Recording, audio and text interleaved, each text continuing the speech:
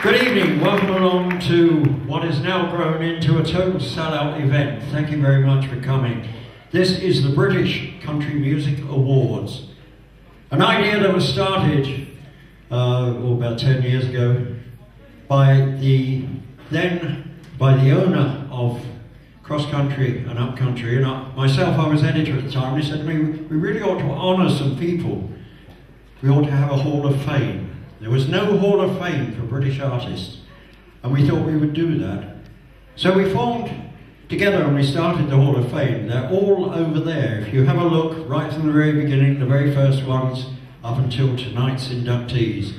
We're very proud to have them with us. But I'd like to just take two seconds to give thank you to the people who run the British Country Music Association. Our president, Mr. Lee Williams, CEO of CMR International, the largest country music internet radio station.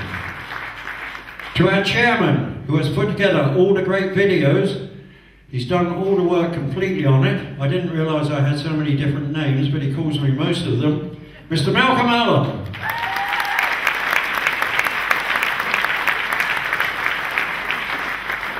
To the secretary come treasurer who moans at everybody and does everything absolutely right. He'll be on a little later on, so I won't dwell too much on him. Ladies and gentlemen, Mr. Roger Wild. From the travelling show, the man that looks after all the music so, B.J. Thomas, Bob Thomas, thank you Bob. To the head of NAM Entertainments, also a musician in his own right, Les Evans.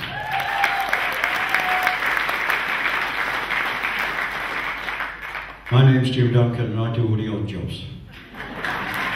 Thank you.